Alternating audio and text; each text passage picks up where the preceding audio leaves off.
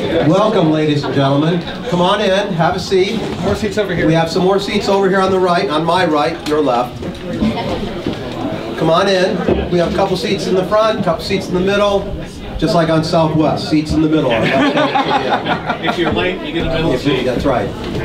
The C boarding group, come on in. Okay, so a couple of housekeeping items. First of all, welcome. My name's Howard Kaloogian, and my wife Martha and I would like to welcome you to our place. Oh. We're very thankful that you're all here. We'd like to thank AFP for putting on such a tremendous event. Isn't this fantastic to Yeah. have Yeah. AFP here and all the food and drink and everything they provide? I think this is the third year that we've been doing the Pine Tree Riot celebration, and I think you're in for a treat if you haven't been to one before. You're going to learn a little bit about history, a little bit about local history, and about how that applies to today, and about what we need to learn from that story in history. So we still have a few seats over here if you'd like. Now, there's uh, just some housekeeping items. The food, as you, you've probably already found. Uh, the, there's an outhouse if you go out past the last shed on the left over here, outside of the barn. And uh, with that, we're going to we're going on to get started with a Pledge of Allegiance.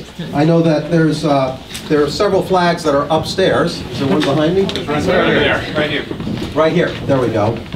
So those of you in elected office, you might want to follow the lead of those of us who know the pledge. Everyone here knows it. Yes, we can practically have a caucus, don't you know? No comma. Ready, begin.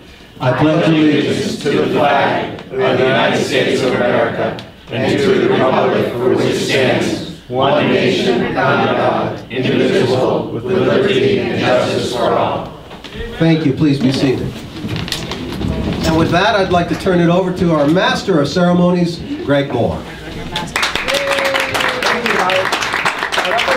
Howard. First of all, I, I want to say uh, I, how much we really appreciate Howard and Martha for giving us the opportunity to host this event here. Uh, one of the things that we said is, you know, we, we enjoyed having it at the Town Hall. Town Hall was a, a fantastic location, uh, but you know what? This has a, such a great intimate feel to it, and moreover, moreover, one of the things by having here we're able to do is to actually bring some Able Ebenezer beer. And I thought, you know, we made we made a little bit of a commitment to to to uh, to the Pine Tree Riot by having this event every year, but when you name your company after the Pine Tree Riot. I think that, that's more commitment than, than, than we're making. So uh, well, I want to first of all I want to say thank you to Howard. I know Howard. For those of you who don't know, Howard uh, actually also served in the legislature, but he actually had a little bit bigger district than some of the folks here. He was in California. He had about half a million people he represented when he served in California Assembly. Um, and I know how much of an appreciation he has for uh, legislative memorabilia. So one of the things I got Howard and, and Martha was, it's actually a commemorative special edition 200 uh, anniversary coin of the New Hampshire uh, State House. Two, this is the 200th year of the, uh, of the State Wow. House uh, bicentennial, and so I want to give this to Howard. Very well, thank you very much. And, uh, and I think Howard will get, be giving some tours later to show some other uh, legislative memorabilia. Uh, we really enjoy this event, and part of the reason I enjoy it is because when I said we should do something about the Pine Tree Riot, my staff looked at me and said, huh? they really weren't sure what I was talking about. And, and it was a little disconcerting because a lot of my staff were born and raised here in New Hampshire. And they had no idea about this hugely important event that led to the uh, American Revolution that happened right here in Weare, New Hampshire, 246 years ago. And where? Yeah, where? Where? I can't tell you how many times I've made that joke and heard that joke today. Let's keep it going. Let's keep it going. Uh, and and and I said to myself, I'm surprised that, that so many people. And I began asking some of our actors, "What do you guys know about the Pine Tree Riot?" And I'd get a blank look. And it, it was so disappointing because this really is uh, one of those events where, had it not been for the Pine Tree Riot, uh, we might we might be uh, enjoying soccer and, and uh, using the pound, not the dollar. So, uh, and I don't enjoy soccer, by the way. Sorry for those soccer fans out there. And, uh, and, I, and I think that, that, it's, that we don't take the time to recognize just how important this event was in our history. Um, it really was, some people describe it as the first organized event of resistance against the crown and some of the mandates made by the crown. And it really set the, the, the stage, without question, set the stage for the Boston Tea Party about 15 months afterwards. So a a little bit of history about the Pine Tree Riot for those of you who are unfamiliar with it. Early on, as many people know, Great Britain was a superpower. It was a superpower precisely because, uh, exactly because it was a naval superpower. And one thing about navies back in the, in the 16th, 17th century, they required a lot of wood. And so in the process of becoming a naval superpower, Great Britain had just deforested pretty much all of, all of the British Isles. They were pretty much deforested. But the good news for them is they had this wonderful resource known as the United States that was packed to the gill with trees everywhere. And particularly this area, New Hampshire, as we know, is, is as you're going to hear about a little bit later from someone who knows something about it, is a fantastic place to grow trees and grow wood. And so one of the things that happened was in, in the 17th century, they passed a law that said any tree above a 24 inch diameter was the property of the king, and he needed them to make mass. Yes. And white pines, 24 inches, they belong to the king. And then they would come onto your property and they'd mark it with a broad arrow. Now, this wasn't really a problem because as you can see, a tree that's, that's this thick, if you're not really going to go for that one first, because you chop that sucker down, good luck getting it out. You need a team of oxen and you still got to get it out of, still need to get it out of the woods. And so that really wasn't that big a deal for a lot of the, a lot of the uh, New Hampshire residents. But then in 1722, they, the New Hampshire General Court, and this is not the finest day of the New Hampshire General Court, by the way, for those members that are present now, they pass a law to take 24 inch down to 12.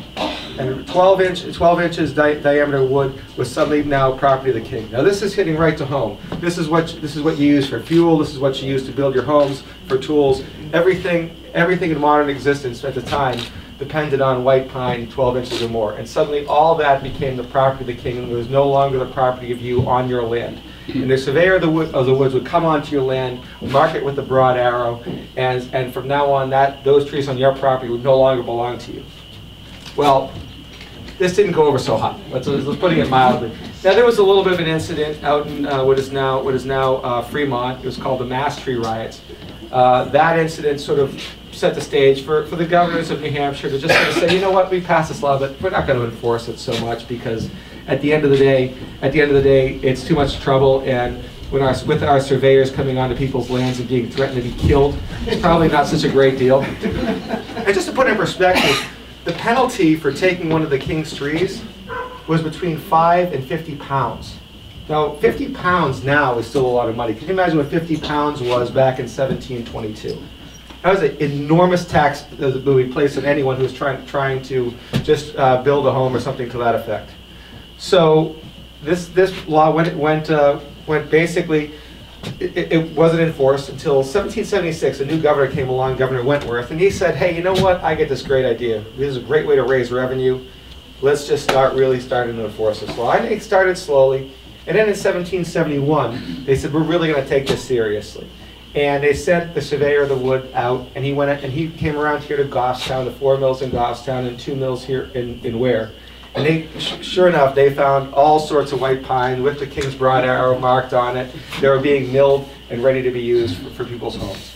And of course, of course, they, they of course charged the people for violating that. Now, the four mill owners in Goffstown just paid their fine. They rolled over. Not, not Goffstown shining its most shining day, Rick. I just want to toss it out there. that's not, that's not, that wasn't the best, the best showing for you guys. Um, and, but, but the mill owner of the two mills in Weare, a fellow by the name of Ebenezer Mudgett said, no way, no way, this is an unjust law, and we're not doing it. So on April 13th uh, of 1772, the, uh, the, the sheriff, the sheriff uh, of, of Hillsborough County, Sheriff Whiting, came down uh, with his with his deputy Quigley. They came down, they showed up at, at the mill, and they said, "Pay your fine," and and still Ebenezer Mudgett refused, and they arrested him. But it was later in the evening, and they couldn't really do anything with the with the arrest, so they sent him home for house arrest in hopes that he he would actually change his mind and just pay his fines. And they went up to uh, Quimby's Inn, which is if you go up 114, you'll see it. There's a nice millstone right on 114. I think it's a pink building with an Avon now, which probably is a little different from Quimby's Inn at the day. And and they went in, and they went and, and, and stayed there, the sheriff and his deputy. Well, Ebenezer got a bunch of his friends together. They all came over to his house. It was uh, answers vary. It was somewhere between 20 and 40 individuals. They decided, what are we going to do? Some of them said, should we help raise bail? Others said, let's fight this. Ultimately, the people who said, we're going to stand and fight prevailed. They won the day. They went in, they paint themselves in blackface, and on dawn of April 14th, they, they went and showed up at Quimby's Inn.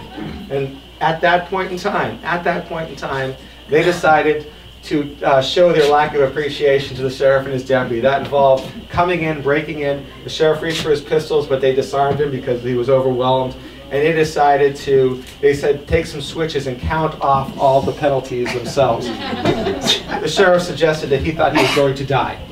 Um, they then in turn took the sheriff and his deputies, put them on their horses, and took the horses, cropped their ears, shaved their manes and tails, and sent them on their way. And, uh, and, and that was the Pine Tree Riot. They, there was a, a group of organized New Hampshire citizens saying, we're not going to put up with this unjust law, we're going to stand and fight. The sheriff later went back, raised the posse. Uh, they came out, and actually the general came out, and they, they arrested eight of, eight of, eight of the members uh, who had participated. Here's the important part. Here's the important part. The, uh, the, the eight uh, people who were arrested ultimately were, were brought to face a court in August of, of 1772. And because it's English common law, they had a chance to, to stand up and, and defend themselves. And the justices, the justices decided that, uh, that at the, at the end of the day, the penalty for doing this should be 20 shillings. That's like a parking ticket for nearly beating a sheriff and deputy to death. So that, that was, there was a message sent. There was a message sent by the judges about what they thought about this law as well.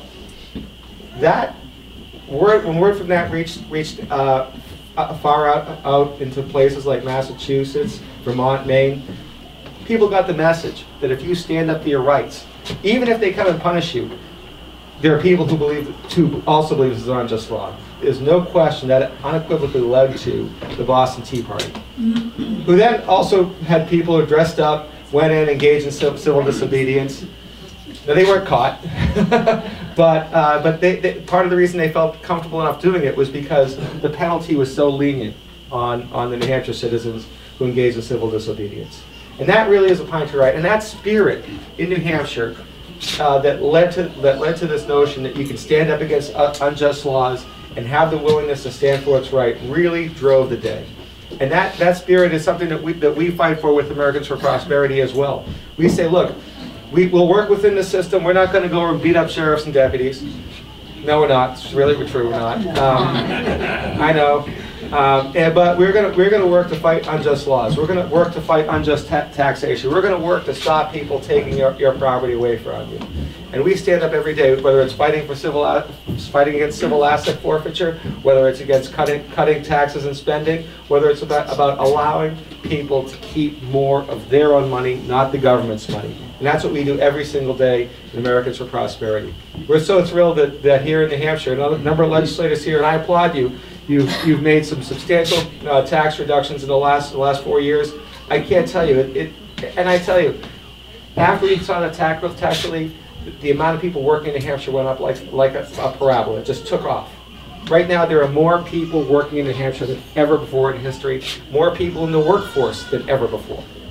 Since the tax relief began in, in January 1 of 2016, 25,000 of our friends and neighbors are, are now working, them, giving themselves a life of opportunity, a, lot, a life of promise, thanks to, to good policy decisions. And those policy decisions are continuing. Thankfully, thankfully, it's not a lot of great news out of, out of Washington, but something happened last year. We actually saw some tax relief and some tax reform.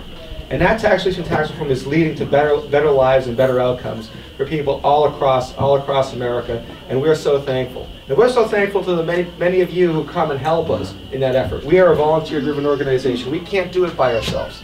We need you. And I can't tell you how thankful I am to each and every one of you who've taken the time, whether it's writing a letter to the editor, picking up a phone and calling people, knocking on a door, having a conversation with a legislator, or if you are a legislator, doing the right thing when you're up in Concord, even when everybody else is telling you to do the wrong thing.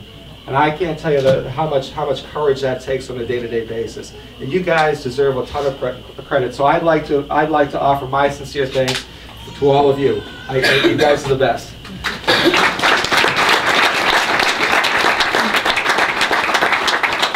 But I, one thing I know for certain is you didn't come here to hear me. Um, we have a rock star, and he's been a rock star with AFP for going on 10 years now. And he has been, he's been here longer than I was. Best decision Corey, Corey Lewandowski ever made. Best decision Corey Lewandowski ever made when he became the, the first state director with Americans for Prosperity. So he put a phone call into to Tom Thomson and said, Tom, would you be our honorary chair? Tom is is a hero. He's been doing this for years and years and years, back from when his days when his father was governor, and he's continued that legacy of, of ensuring that New Hampshire not only remains sales and income tax free, but remains that government remains small and people's liberty remains high. And not only that, but he knows a lot about trees. So with that, I'd like, to, I'd like to introduce our honorary chairman, our rock star, Tom Thomson.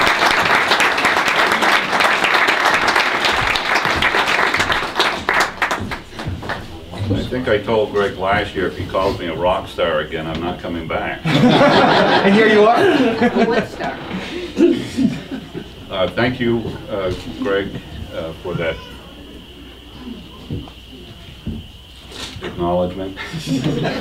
I am a certified tree farmer, uh, and I can honestly tell you, as much as I enjoy being here with my wife Sheila, uh, that I would much rather be in the backwoods on our tree farm than down in Concord testifying or uh, going to different meetings. But I understand that it's important, and if you're not at the table, you lose by default. So I'm more than willing to do that. And uh, again, I thank you. I thank all the legislators that are here, and just echo what Greg said. uh, It's really important uh, for what you've been doing, not only to those that are in office now, but those and our- our famous speaker, Bill O'Brien, and others that have served before us, and, uh, and some that are looking to serve. So, thank you for, for doing that. Uh, I know it's a big commitment on your part and your family. I was talking to uh, Speaker O'Brien before we uh, started the meeting, and we both agreed that these wagon wheels look like the wagon wheels that came off Hillary Clinton's campaign.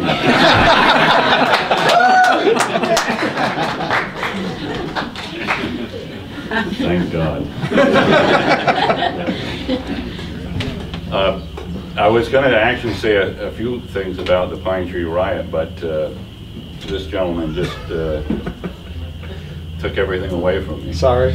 But as a tree farmer, um, I can kind of relate, and our son is in the logging business also, and can relate to some of those people way back then. Um, We basically did the th- same thing. We cut the trees, we got them to the mills and sawed them out. Um, Today, uh, instead of using a whipsaw, which they called back then, uh, either oxen or horses to get them to the mills, and then uh, of the early, early mills were just up and down sawmills that uh, were run by water power. Today, we have highly computerized, mechanized equipment uh, with a, just a machine that does the cutting could probably cut more wood in a day than two men could cut all year. I mean, it's incredible. But the, uh, the cost of that equipment is also incredible. The, uh, Greg mentioned the two trees, uh, the size of the white pines that uh, the king wanted. And at first they started out with a 24 inch and they actually wanted even bigger trees. That was the smallest diameter because those masts, they wanted straight single tree masts. And uh, they were actually, I guess, uh, putting two or three uh, stems together because they didn't have much left over there. Uh, But when they saw these white pines, uh, they, that's what they wanted. And then they got worried because maybe they were gonna do the same thing, they were gonna cut all the big trees. So they passed the law for the twelve inch trees, white pine, so that would be their growing stock for, for uh, the future. And that's what really set off, uh, I think, the, uh, the landowners, the loggers, and the mill owners.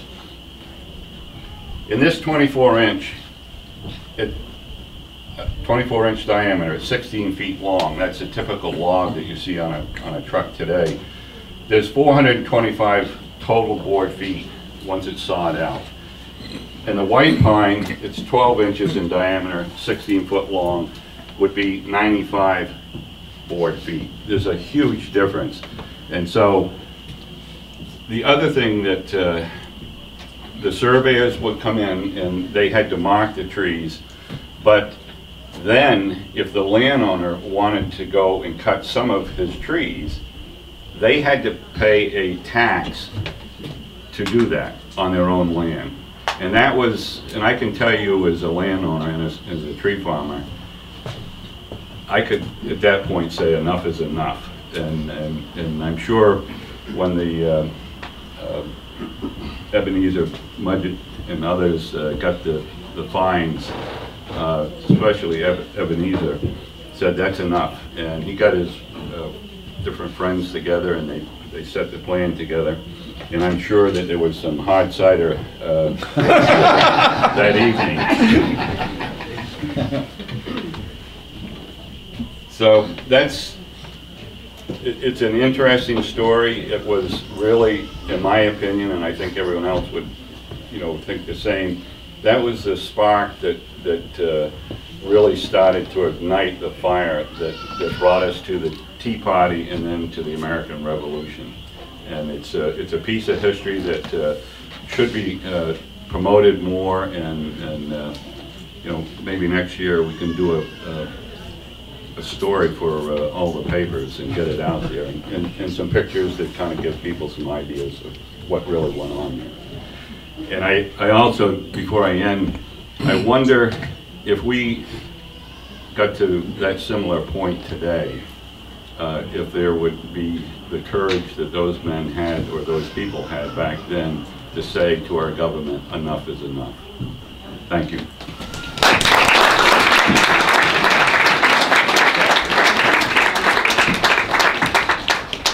Now, one of the things uh, where Tom has a little disagreement with me is the fact that we actually name our Conservative of the Year award the Tom Thomson Conservative of the Year award. And Tom doesn't think that's appropriate because he's still alive.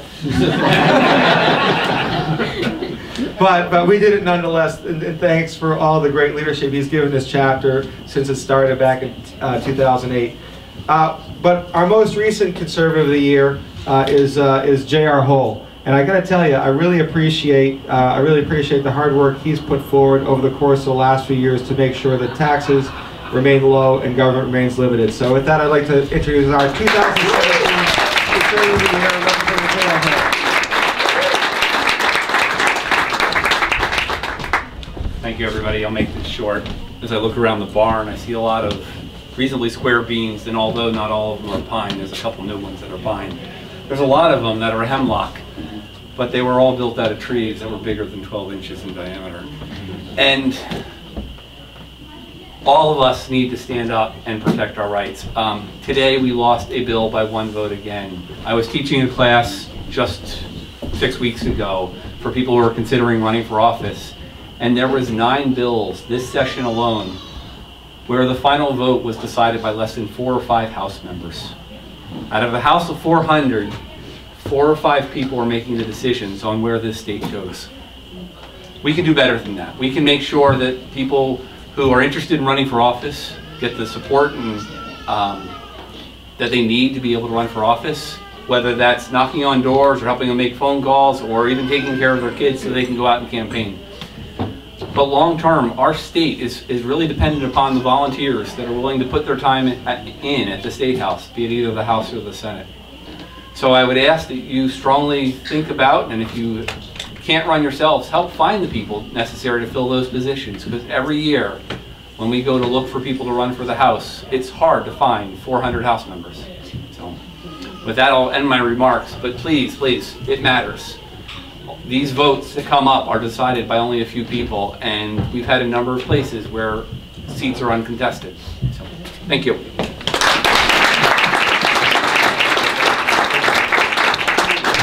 They tell me I need to speak up loud because you can't hear me in the back, so if I seem like I'm yelling into the microphone, you'll know why.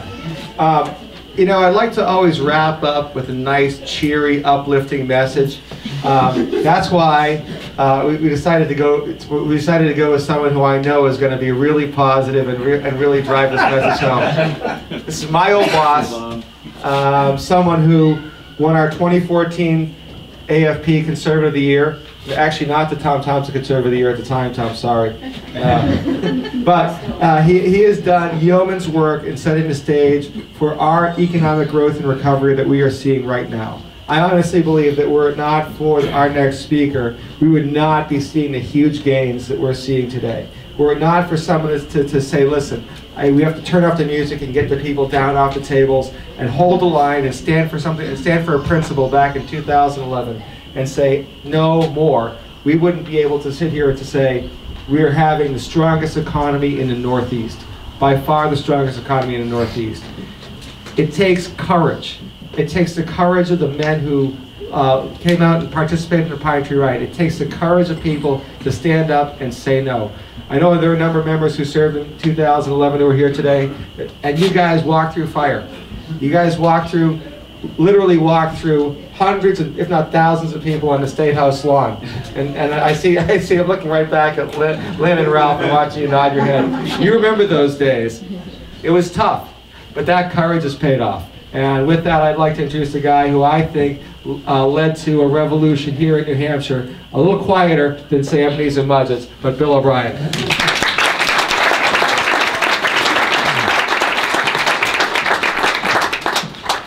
Greg, I warned you because you used to write all my jokes. Now, I, I do appreciate the opportunity to speak, and JR, looking at the two of us, I think I'm going to actually make it a little bit shorter, right? You know, and, and Tommy, you know, one of the real pleasures of being involved in public life is, is meeting you and being um, reminded of all you do and all that your father did. It is truly an honor to know you and, and to uh, become acquainted with you. You know, one of the things I want to get across to folks is we are a revolutionary pe- people. What happened with the Pine Tree Riot was not out of character for us. Fighting arbitrary and oppressive government is at the core of our history, and it's in the DNA of our political process. Over a hundred years before the Pine Tree Riot, the, the rioters' great-grandfather's generation beheaded the king. And they beheaded the king because the king thought he was superior, supreme to constitutional government. And later, about 85 years before the Pine Tree Riot, the king's grandson, Charles the uh, first, I think it was, uh, no, it was James II, um, forgot the lesson of a constitutional monarchy. So they threw him out of the country and went and got a Dutch prince to be their king. It is our right as free individuals to throw out and challenge oppressors wherever we- see them. It is for that reason that the Second Amendment and the right to bear arms is in both the US Constitution and the New Hampshire Constitution. But we don't have that right just because they're in the Constitution. As Justice Scalia explained in the, the recent case of District of Columbia versus Heller, it is our natural right to defend ourselves. It is our, our historical common law right to defend ourselves from tyrants, domestic or foreign. The Pine Tree rioters understood that. The founders of our country understood that when four years later they declared ourselves Uh, as being independent from a tyrannical England. The framers of our state constitution understood that when 12 years later they put this language into our constitution, language that is still in our constitution. It is Article 10. You know what the name of that article is? The right of revolution. And in it it says, whenever the ends of government are perverted and public liberty manifestly is endangered and all other means of redress are ineffectual, the people may and ought to reform government or establish a new government. Then it goes on to say it and make it clear what is being, uh, the message that's being given. The doctrine of non-resistance against arbitrary power and oppression is absurd, slavish, and destructive of the common good and the happiness of mankind. These are people speaking in the 17, 1784. 12 years after the Pine Tree Riot, they understood and we shouldn't forget. But the question comes up, does this right of revolution exist now? What, can we recapture the certainty and the courage of the glorious revolution that threw out a king and said, we'll try another one from, from the Netherlands? Or the certainty and the courage of the Pine Tree rioters? I submit to you that it can. I submit to you it's around us all the time. And I'll tell you where you see it. You see it in revolutionaries in town meetings speaking up in, in the face of neighborhood or community opposition for small government, low taxes, and lo- low regulations in order to preserve their liberty. We see it in revolutionary parents protecting their children from state propaganda and collective oppression uh, through homeschooling. And when they can't do that, they, they fight the educational industrial complex in their towns and in Concord. We see revolutionary candidates for public office and their supporters explaining to the voters why and how government should shrink. We see revolutionary state legislators who labor year after year for freedom and refuse to join the, too often the majority dedicated to growing government so that they can grow their authority over you. Legislators such as the one that exists in this district who would take away educational uh, savings accounts because they want government to have a monopoly over our children. We see uh, revolutionaries in the activists who overcome insults and obstacles and stay with their conviction and labor year after year for freedom, religious freedom, political freedom. Those folks who stay with it are, are, are revolutionaries. We see revolutionaries who refuse to believe the lies of the legacy media and take the time to learn the truth themselves and to pass it on to others. There are many Pine Tree rioters with us here today. Each of us should be a Pine, Street, a Pine Tree rioter. The times demand nothing less. Each of us needs to be a revolutionary. Thank you.